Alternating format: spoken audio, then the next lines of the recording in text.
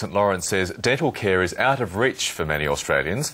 Meanwhile, a report by the National Advisory Council is understood to support a call for a universal dental healthcare scheme. Now, the government is yet to release that report, but the Greens, who uh, originally were in charge of, or at least arguing in support of putting together such a, an analysis of the state of dental care in Australia, have been given a copy of this report. So joining us now is Green Senator Richard Di Natale. Richard Di Natale, good morning. Morning. morning. So the status of this report is? It's an interim report so advice has been provided by the council to government and the Greens. And it's been not been released. Why? Well, the government's view is that uh, it should inform their thinking for next year's budget. The final report will be due in uh, January next, uh, of next year. But you can talk in general terms about it. Yes, I can. What does it recommend? Look, it's a really bold and ambitious plan. The Greens are really pleased. It recommends a significant investment in dental health in next year's budget. Uh, it suggests that we should focus on low-income earners and young kids, and we agree with that focus. It also says that the aim should be a universal scheme, uh, a scheme like Medicare, so that essentially the mouth is treated like the rest of the body, no good reason to separate the two, and to ensure that cost, which is a major barrier to access, is no longer a factor, so that we have a universal scheme, Medicare funded dentistry, and uh, that should be the long term aim of government. Do you believe Australians would be happy to wear the cost of an extra levy to fund dental care? It's a very popular reform. In fact, uh, Newspoll commissioned uh, just that question, and 75% of the Australian community have said they would support uh, an additional uh, Medicare levy to fund dental care. Uh, it's a huge issue, huge uh, demand in the community, particularly if you're a low income earner and, and young kids uh, who aren't getting treatment at the moment simply because of the cost of dental care all healthcare is expensive and getting more expensive, it seems. It's the greatest impost on state and also federal governments.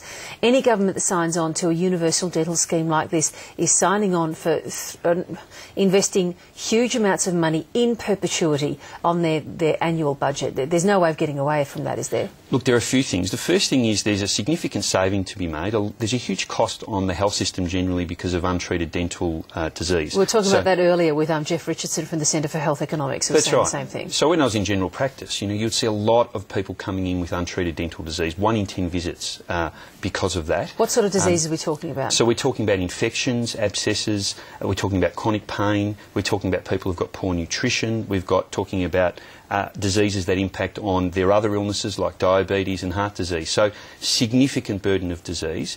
There's a huge impost on the, on the hospital system as well. So uh, a, a, significant number of presentations to emergency departments are because people haven't had their teeth treated. There's also the uh, costs associated with lost productivity. So costs are estimated anywhere up to $2 billion in terms of the direct and indirect costs because of, with, of this un, untreated uh, dental disease. Uh, so there's a big saving to be made in that area. And the other thing to say is whether the government pays for it through a public insurance scheme like Medicare or whether the individual pays for it through fee for service, there's always a cost. The question is what's the most efficient and equitable way of funding it?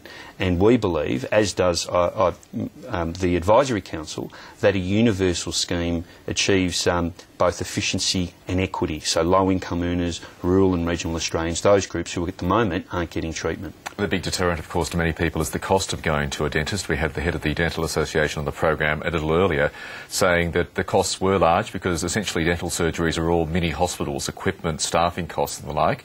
Does he have a point there? Oh, look, there's a significant cost. No one's arguing that there aren't is costs associated is it excessive? with... Uh, look, uh, I don't think that Australia's costs are exorbitant.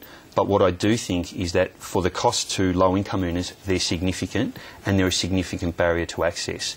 Um, we know that the cost of a scheme like this would be five to six billion dollars. We know that could be funded. Our proposal would be to do it through the original mining tax. We think that was a good way to fund this sort of reform. And it's a sort of reform that I think is one of the great challenges facing us this decade. It's right up there with Medicare, mm. uh, with the National Disability Insurance Scheme. And I just think for a government, a particular Labor government, this is the sort of reform they should be taking on. They're not, so we're going to do it. Now, of course, uh, some patients can get access to, I think it's up to $4,000 under Medicare at the moment if they have chronic illnesses resulting from their dental problems. The government is very keen to wind that scheme down. In fact, it's accusing dentists of rorting that scheme. D is there any grounding for that argument? No, there's not. In fact, uh, dentists are being unfairly targeted by Medicare for making simple administrative errors through that scheme. The government's never liked it. It was a Howard government proposal, and in politics, you know, ownership is everything. The government's been intent uh, to wind that scheme back. Uh, and they've targeted dentists, in my view, very, very unfairly. Uh, and uh, the dentists we've spoken to, in fact, through all the audits that have been done, no evidence of rorting, simple administrative errors, like, for example, not providing the written treatment plan back to the GP. Now, often they will have done that, but done that slightly late, uh, and they're being pinged for the full cost of providing treatment. And under that scheme, 80% of people are healthcare card holders, so a lot of people are getting treatment to uh, really urgent uh, dental care that they wouldn't otherwise have got. Can I just talk about the figures for a little more before we let you go? Jeff Richardson, who we were speaking about earlier from the Centre for Health Economics, who, uh, which of course did that Brotherhood of St Laurence report on their behalf, said he felt the cost of a universal scheme could be around about two to three billion dollars, yes. uh, and that over time actually it would sort of pay for itself once you got out of the healthcare system all the associated costs of the untreated medical conditions that you spoke about earlier.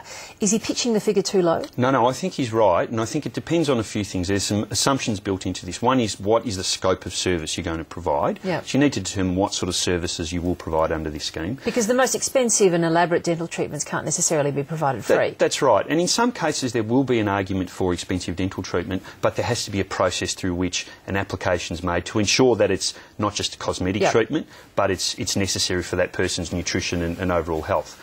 Uh, so he's right. Once those savings in terms of lost productivity and once all that unmet demand starts to be met over time, we'll find the costs come down.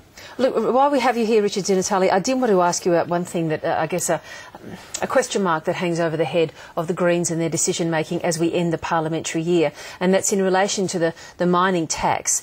And it's the fact that the Greens supported the tax as it was in the lower house, but has now reserved its right to make changes to it in the upper house. And that has drawn the ire of, I've got to say, many of our viewers and many commentators, of course, uh, as well. Why are you doing that? And if you truly support this tax, why do you want to have it both ways and be able to amend it later on at your leisure?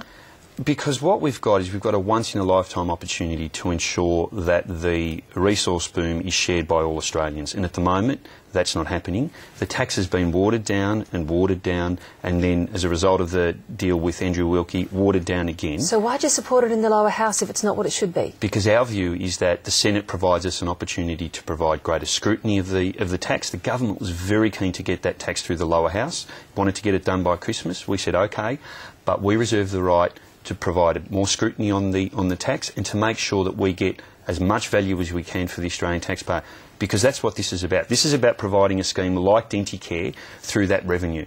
And you have no embarrassment about doing that? Not at all. No, no, I've got no embarrassment about achieving uh, the best outcome we can in terms of sharing these these resources. But about your word not being your bond? You know, I, I, support this, but you know what, later on I might not? Well, I think we made that very clear. I mean, we said our word was we'll pass this in the lower house and we will hope to improve it through the Senate. That's the way the Senate works. It's a house of review. Our role is to make sure we get the best outcome for Australians, and we think we're going to do that through the Senate. Well, we'll see what happens in the new year. Richard Di Natale, good to talk to you. Thank you. Thanks, Virginia. Thanks Thank so you. much. Now, the Defence Minister Stephen Smith has assured India that it won't be selling